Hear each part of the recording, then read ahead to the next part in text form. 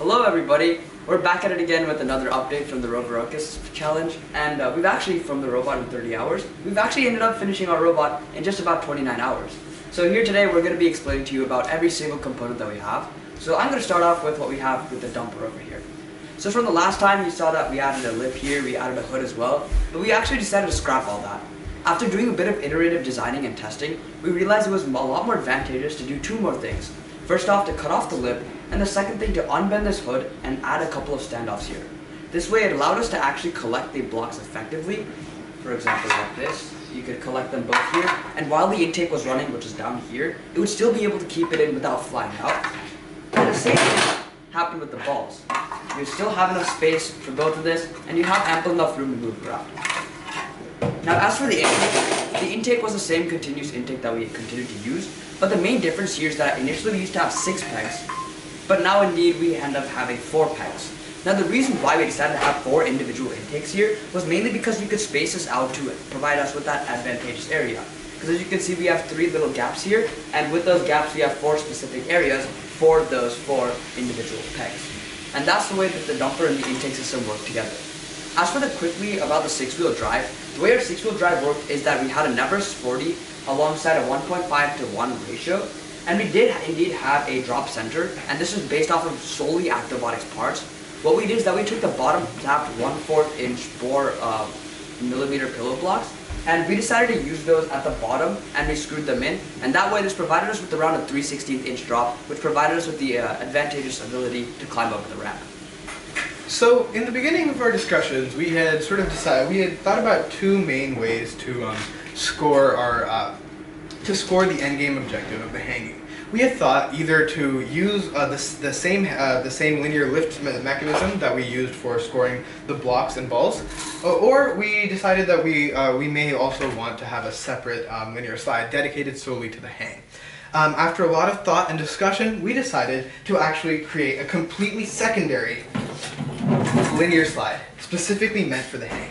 This mechanism on the top of this slide is uh, the same mechanism that we showed you earlier in one of the earlier um, event updates. And it basically functions by having a spring-loaded uh, servo, which uh, uh puts all the weight on the, uh, on the spring and on the mechanism instead of on the servo. And also, um, one of the main ways that we were able to be very successful and very, very quick with this robot um, was through the scoring uh, of, of our debris. Um, well, not the debris, of the particles here. Um, so we, uh, as, as Advaith mentioned, we had actually created this linear lift, um, and this lift actually is powered in both the up and down directions. We have two simultaneous pulleys, which allow us to go up and down as quickly as possible to maximize our cycle times. And of course, last but definitely not least, we have our team marker deposit. The team marker deposit was a bit of an afterthought, as you can see here. We showed you this team marker a bit earlier, and um, this will sort of this allows us to simply drive an autonomous and dump ourselves out. Um, so we, we would, uh, this and this is basically the conclusion of the entirety of our um, of our Rover Ruckus robot. We've been uh, we've been having an, an, incredible time in the past 29 hours, um, really functioning uh, as as well as possible, uh, combining our two teams and really having a blast in the process.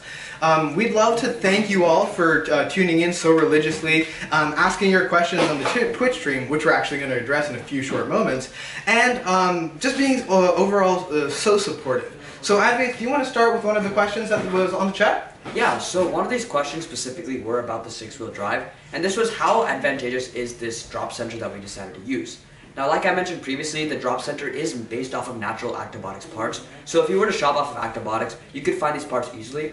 One thing I believe that Shishir showed you in the second update, you may have not seen clearly because the lighting was quite poor, but we actually had a bunch of supports on here that you can see. But this right here is that bottom tap 1 4th inch uh, bore uh, pillow block that we actually used. So this did provide us with that 360th inch drop, which was quite advantageous because if everything was in the same plane, if we were to get over the first part, and let's just assume that the uh, the rim of the crater was right here, we wouldn't really have much of uh, an area to actually drive with, right? The only wheels that we would have are this one and this one, but this middle wheel won't necessarily touch, but the back wheel might possibly touch. But this middle wheel being dropped down a little bit lower allowed us to get that grip for us to get that extra around, so we could get that back wheel powered and everything will be inside the crater at the end of the time. So there were actually quite a few questions about our six-wheel drive. One of the other questions that were asked was um, how how um, far uh, how, how far is the bottom of your wheels to the bottom of your chassis? And um, based because we, as Advaith mentioned, because we went entirely off of Actobotics parts, this was actually only a one-inch gap. Um, and the other question that was asked relating pertaining to this was um, how effective we were at actually getting into the crater zone and being able to collect and score debris. Um, we this drivetrain is fully capable of getting into the crater zone by itself. We've tried it forwards, backwards, uh, fast, slow, all these uh, combinations, all, and all of them are successful. Unfortunately, when there is a lot of debris, this drivetrain has a, a huge struggle of simply getting beached on this debris and can't really um, get its grip after it gets into that crater, um, which resulted in us getting stuck in quite a few of our attempts. So if you are to go with the very stock Andy, uh, Actobotics chassis, please be careful and be prepared to do your own modifications. well, thank you so much for um, everything that you guys have done. Um, because we are uh, done with our robot, and because we uh, sort of have a nice long day of school ahead of us, we'd like to sign off this uh, Twitch stream early. Thank you so much for your continued support. See you later.